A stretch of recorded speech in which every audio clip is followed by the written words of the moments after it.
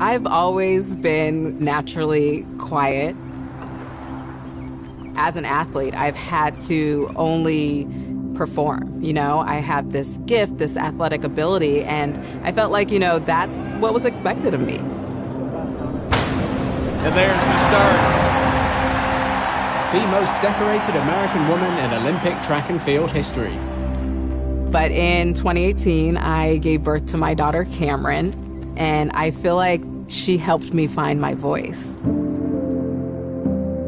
I went to the doctor at 32 weeks for just a routine checkup. And right away, I could tell that something was wrong. I was sent to the hospital for further testing, and I was diagnosed with an extremely severe case of preeclampsia.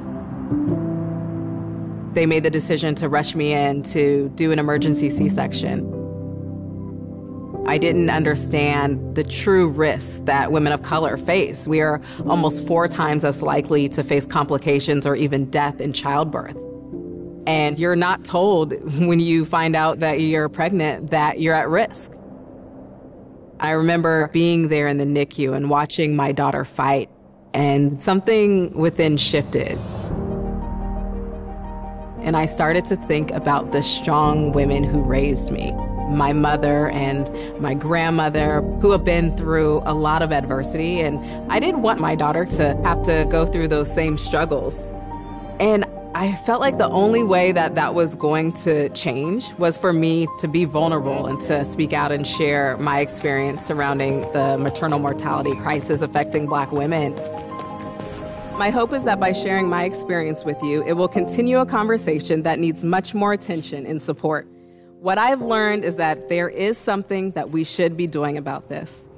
I think that I am sitting here to tell the story of my traumatic experience, but there are so many women who are not here to raise their own children because of something that could have been stopped or prevented.